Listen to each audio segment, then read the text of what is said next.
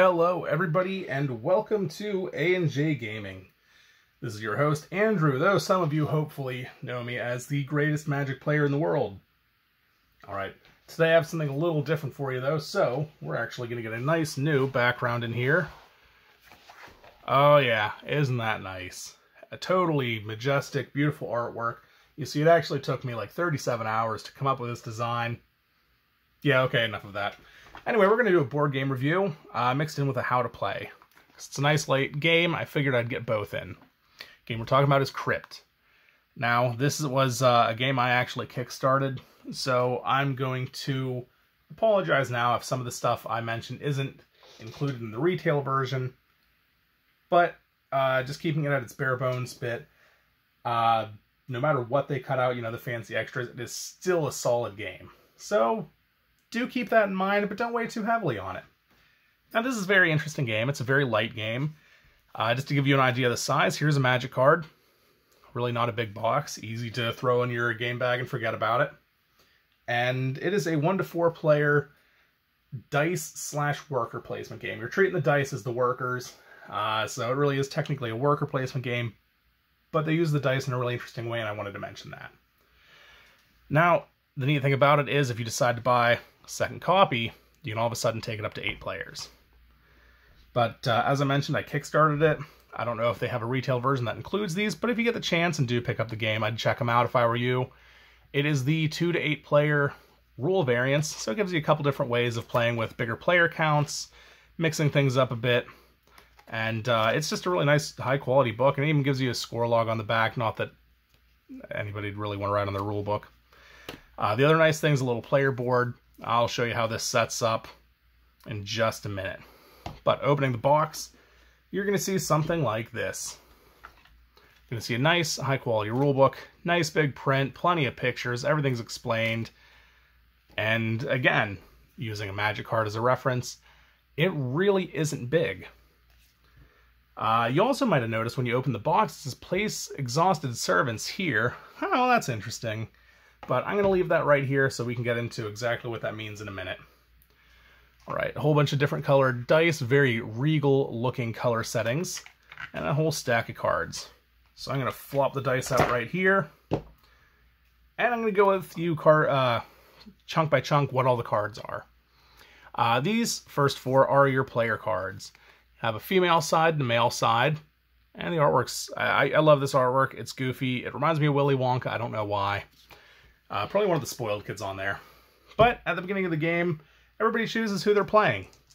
So you just take your dice here because they uh, a nice little spot for it on the bottom there. And you set them up. And it doesn't matter what face they're on because you haven't even started the game yet. And your opponent will do the same thing. So let's say they're playing this creepy guy just so I have it out here. And they would do the same with the dice. So now that it is a two-player game, I will show you what the board's for. Aha, see how it spells out a 2 on it? But what if you wanted to play with three players? Oh, well, hey, that's really cool. It says 3 on it. And then, of course, you'd flip this over to get 4 plus. Because if you can focus nice for me, camera, I'd appreciate it. It has this really neat little, well, whatever, it doesn't want to cooperate. Anyway, this says 6 to 8 on it, so it lets you know that, hey, this is going to be used in the bigger games too. Cool. Like I said, we're focusing on two-player for this explanation. So we got the player cards out of the way. Now we have, move this back up here just so you can gawk at the other cards while I'm talking about these ones. Lights Out and Leader. Uh, leader would be who starts the round. Lights Out is traditionally who ends the round. And at the end of each round, they get passed one uh, person sideways uh, to the left. And the interesting thing about the two player is whoever starts is also the one who finishes. And I'll get into that in just a second. Now we have these collector cards. Uh, if you guys have played Splendor, this is kind of similar. Their name, uh, the prerequisites for getting them, and there are two types of prerequisites. I will get into those later. But this is just a parameter one. Once you hit these parameters, you enable this effect. This is a more active. Whenever you activate this, you get to use it. But we'll get to that in just a minute because it won't make sense until we talk about treasure. Glorious treasure. Why are we hunting treasure? Well, the flavor of the game is your rich old dad just died. And he didn't leave you kids much. Or he didn't leave you a lot because you're all kind of spoiled little barons and baronesses. So you decide to send your servants into the, his tomb to try to... I think this is supposed to be the crypt. This is actually the box. I just love that there's art inside. I had to show it off now. But you're sending your servants in to fight your brothers and sisters' servants over the heirlooms that you never got. Well, that's one way of handling uh, getting written out of the will, I guess. Not what I would do personally, but so be it. All right, so let's say for this first round, let's just get into how this works out. For this first round, I'm going to have the leader and the lights out card. Um, and then you'd go to set up the board once the round starts, and this little arrow shows you you start here and you go around this way. For two players, there are these two lit up doors and one dark one. Now, if you don't have the board, it tells you in the book. What this means is there are going to be two face up treasures everybody's fighting over, and there's going to be a face down one. Now, the neat thing about the face up treasures are I'll show you the little anatomy of the card. You have what type of treasure it is and the victory points of the card. But the hidden one, you at least get to know the type, but you don't know what the victory points are, so it's a gamble. And there are five different types of treasures. We have these scrolls, these tapestries, uh, ceramics. It's a bone. I don't want to know what it is. And let's say statues for this one. But my turn comes up first. Now, there are two possible actions you can take on any of your turns, and I'll, uh, I'll get into that second action a little bit later. It won't really make sense if I mention it right now, so just bear with me, but I will get to it. The first action is you can place any amount of dice you want on any number of the treasures out here. The only ruling for such is you can place whatever number on it it doesn't matter. They're not going to say, oh, you have to at least put two on this because it's a two point worth one. No, they don't do that. But they do say, if you want to put two dice on it, they have to match. Same thing with adding a third die. It just has to match the other two dice on it.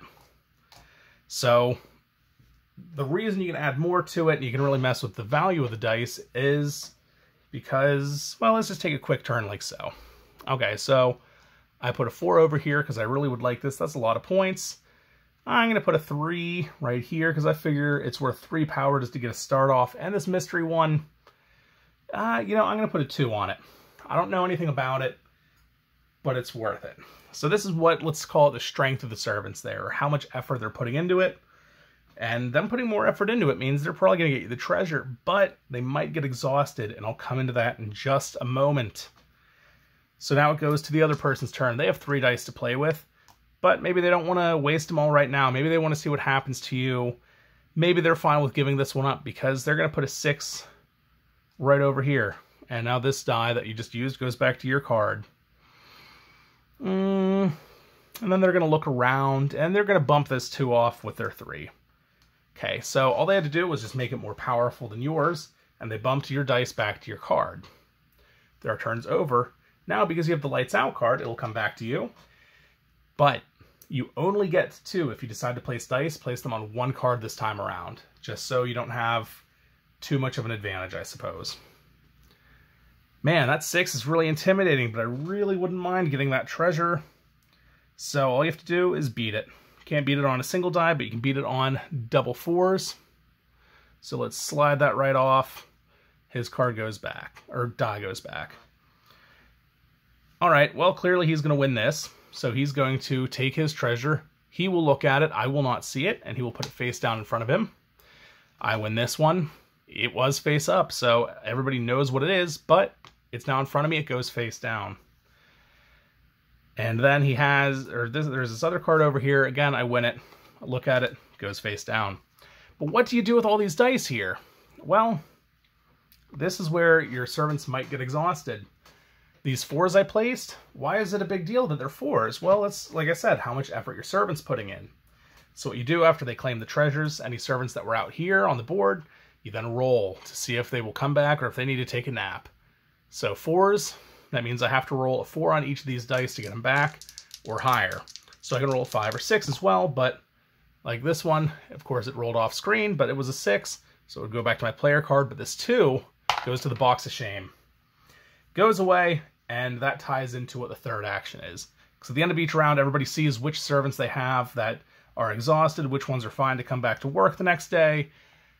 And you might end up losing most of your card to that. And I've actually, in a couple of games, just gone all out and lost all my dice to it. So next round comes around. These get passed over. New treasures all come out. And play would continue with the same thing. And that other action I told you I would mention is you can spend your turn to just grab all your dice out of the box, put them back on your card, and forcibly refresh them for the next round. Well, that's all well and good. So let's, using the two treasures I got earlier as an example, I have these two, they're both the scroll type. Well, now I unlocked this bonus, which says each scroll is now worth four coins. You know, it doesn't really matter as much for this one. I'm not really gaining points on that. But hey, on this one, it's now worth two more points. So cool.